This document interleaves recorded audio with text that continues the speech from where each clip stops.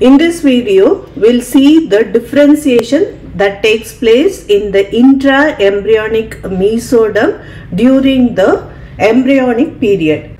At first, the intra-embryonic mesodermal cells are distributed as a loose sheet on either side of the median plane. In the later part of the pre-somite period, a longitudinal groove appears and subdivides the mesoderm into three parts. A paraxial mesoderm on each side of the notochord and the developing neural tube and then you have the intermediate mesoderm lying along the floor of the longitudinal groove and then you have the lateral plate mesoderm which extends up to the periphery of the germ disc and it is continuous with the extra embryonic primary mesoderm. Next we'll see about the paraxial mesoderm. It is derived from the ingressing epiblast cells which migrate through the primitive node and the rostral part of the primitive streak. It extends cranially from the primitive streak to the prechordal plate and reaches caudal to the otic vesicle which develops on each side of the hindbrain. The post-otic part of the paraxial mesoderm forms a bilateral solid cords of cells extending along the side of the notochord and beneath the neural tube. It undergoes segmentation to form a series of paired somites. The mesenchymal cells rostral to the otic vesicle remain unsegmented and underlie the developing brain and they develop the base of the skull and all striated muscles of the head. The pre-otic somites derived from the mesenchyme of the prechordal plate are said to give rise to the extrinsic muscles of the eye. The post-otic part of each paraxial mesoderm is subdivided into a number of cubical blocks which are known as the somites or metameres by a series of transverse cleft. The process of segmentation extends craniocaudal direction and the first pair of somite appears just caudal to the tip of the notochord. The somites appear between 20th and the 30th day of development and by the end of first month about 44 pairs are laid down in the human embryo. The fourth week of the development is called the somite period and the approximate age of the embryo may be assessed by the number of somites. The cranial most Four or five pairs of somites are known as the occipital somites which are situated by the side of the hindbrain and help in the formation of the skull. The somites are differentiated into a ventromedial part that is called as the sclerotome and a dorsolateral part that is called as the dermomyotome. The cells of the sclerotome, they lose the epithelial character and they become polymorphous and they migrate ventromedially around the notochord and the neural tube to form the primitive or the blastemal vertebrae. The dermomyotome consists of a lateral dermal plate and a medial muscle plate. The cells of the dermal plate they spread beneath the overlying ectoderm and they form the dermis of the skin and the subcutaneous tissue. The muscle plate or the myotome give rise to the spindle shaped cells of skeletal muscle and each mesodermal somite is supplied by the nerve of the corresponding spinal segment. The segmental muscle may be attached to the corresponding vertebrae or they migrate elsewhere beyond the vertebra. But once the muscle is innervated by a spinal nerve, it does not lose the nerve supply. Out of the 44 pairs of post-otic somites, 4 are occipital, 8 cervical, 12 thoracic, 5 lumbar, 5 sacral and 8 to 10 coccygeal. The sclerotome portion of the somite it gives rise to the development of the vertebral column and the ribs. The occipital somites and the most cranial pre-otic unsegmental mesenchyme are involved in the development of the base of the skull and most of the calvaria. The caudal somites uh, disappear yearly. All the striated muscles of the trunk along with the muscles of the tongue, diaphragm and the limbs are derived from the myotome.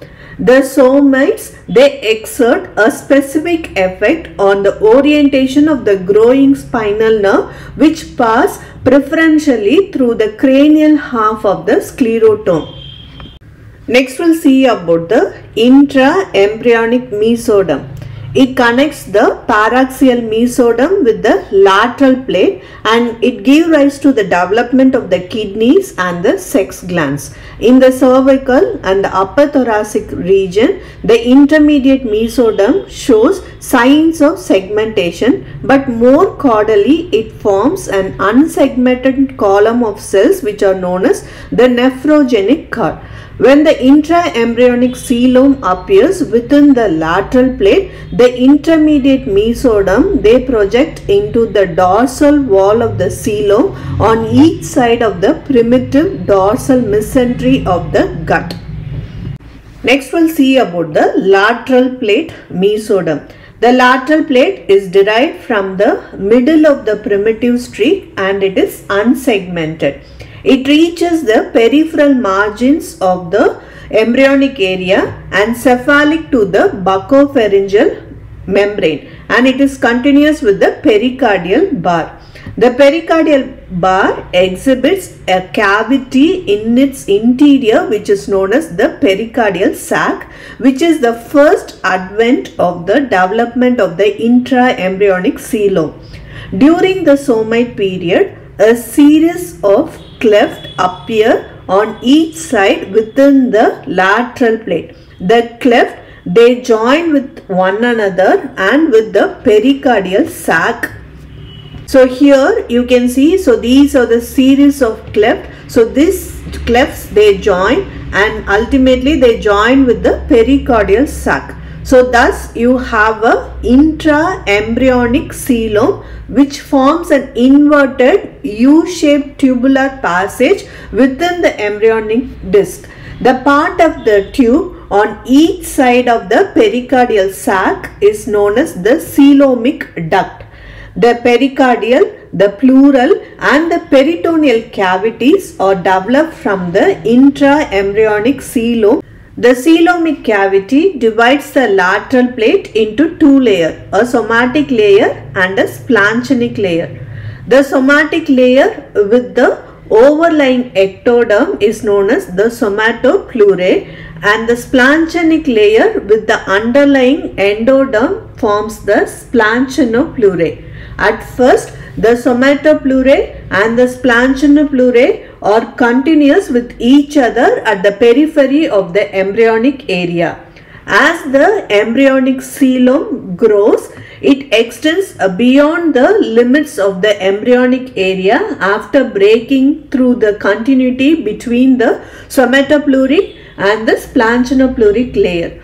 The communication between the intraembryonic and the extraembryonic coelom takes place on each side. Here you can see the communication between the intraembryonic coelom with the extraembryonic coelom on each side but it does not affect the cephalic part of the embryonic area where you have a horseshoe shaped mesodermal plate exists adjoining the pericardial sac and the coelomic duct. So this plate of cells is known as the septum transversum from which develops the future diaphragm.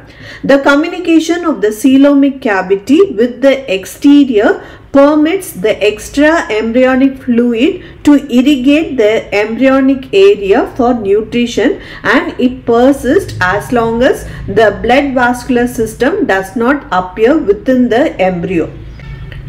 The somatopleuric layer of the lateral plate give rise to the parietal layer of the peritoneal, pleural and pericardial sac, dermis and the subcutaneous tissue of the body wall and the skeletal elements of the limb buds including the pectoral and the pelvic girdles. The splanchno-pleuric layer, they provide the development of the visceral layer of the serous sac the musculature and other connective tissues of the gut, respiratory tubes and the heart. The splanchno-pleuric mesenchyme specifies the types of the villi and their distribution in the gut and the branching pattern of the bronchial tree in the respiratory tract. Thus, the pear-shaped flattened trilaminar germ disc presents in the median plane the following structure from cephalic to the caudal end. You have the septum transversum, pericardial sac, buccopharyngeal membrane, the three brain vesicles and the spinal cord and the notochord beneath the neural tube. Then you have the primitive node and the primitive streak, then the cloacal membrane and the connecting stalk containing the allantoenteric diverticulum.